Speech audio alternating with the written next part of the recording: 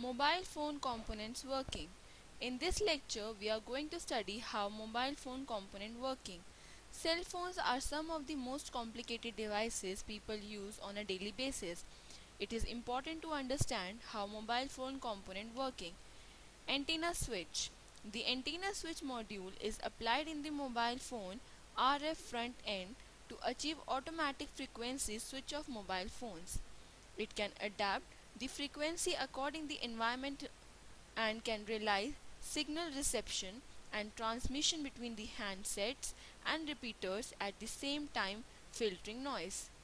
PFO that is power frequency oscillator. It is present beside the antenna switch. PFO is an electronic circuit that produces a periodic oscillating electronic signals. Oscillators convert direct current from a power supply to, uh, to an alternating current PFO that is power frequency oscillator. It is present beside the antenna switch. PFO is an electronic circuit that produces a periodic oscillating electronic signal. Oscillator converts direct current from a power supply to an alternating current signal. They are widely used in many electronic devices. If there is no signal, it means PFO is faulty. Next is network IC. It is an integrated circuit. Electrical power is distributed to the components of the chip over a network of conductor on the chip. Power network design includes the analysis and design of such network. It is found near the PFO in network section. Next, 26 MHz crystal oscillator. Crystal oscillator are used to communicate devices such as cell phones.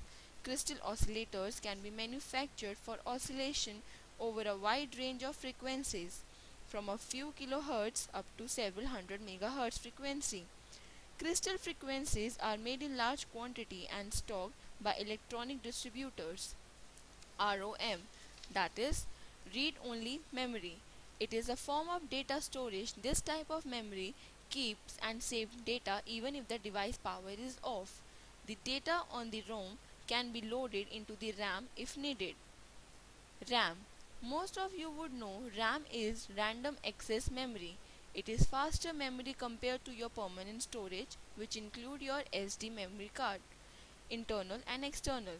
Which your processor computes data, it is faster to retrieve data required for processing from your RAM rather than to load it from your permanent storage which takes time. Flash IC it is found in the power section of a mobile phone.